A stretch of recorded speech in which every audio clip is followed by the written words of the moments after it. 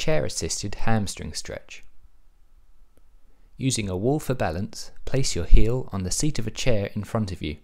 Bend forward from your hip until you feel a stretch along the back of your thigh. It is important to keep your lower back as straight as possible, to bend the knee of the supporting leg slightly, and to avoid any twisting of the torso.